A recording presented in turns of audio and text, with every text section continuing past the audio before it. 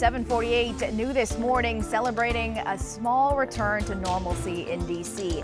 The Fit DC HerStory 5K was starting to become an annual event, but in early March 2020, it became one of the final local races run before the pandemic lockdown began. But today it is back and it is in person. WUSA9's Katie Kairos joins us live from Freedom Plaza this morning with a preview. Katie, it is going to be so good to see all those people back in person. Good morning, Marcella. Yeah, it's going to feel so good, and it's such a beautiful day for it. We're expecting about 3,000 people to be out here later this morning for this 5K heading down Pennsylvania Avenue.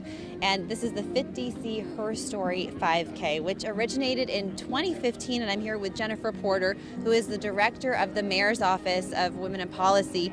And Jennifer, you were telling me there's going to be some pretty famous speakers today as well. Who can we expect? Yes, well, we know DC is the District of Champions, and we're excited to have our national national champion winning uh, uh, women's soccer team uh, representatives from the Spirit. We also have our championship women's basketball team, the Mystics.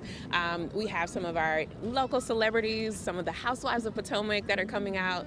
So, and of course, our mayor, Muriel Bowser, will be here gracing the stage fantastic. And you know, I am ashamed to say I wasn't as familiar with everything that your office does. And you offer initiatives throughout the year. And one thing you're trying to address is the pay gap that women face all the time.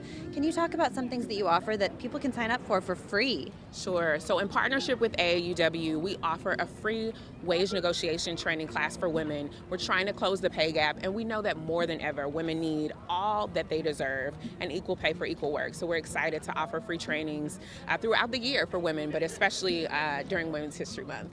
Okay, wonderful. And this is all getting underway today, and I know there's still yet another big event coming up at the end of the month for Women's History Month. Can you tell us about that? That's right. Mayor Muriel Bowser's annual Washington Women of Excellence Awards is going to be on March 31st at the beautiful Wharf Dockmaster Building, uh, and we're celebrating and honoring some amazing DC sheroes. So we're hoping everyone can come out and join us. That is so fantastic, Jennifer. Thank you so much. And of course, we're going to be talking to some more participants who are coming out today who are so excited to be back in person here at this 5K. We're going to have all that for you later on. Marcella, back to you. All right, an exciting day ahead, Katie. Thank you.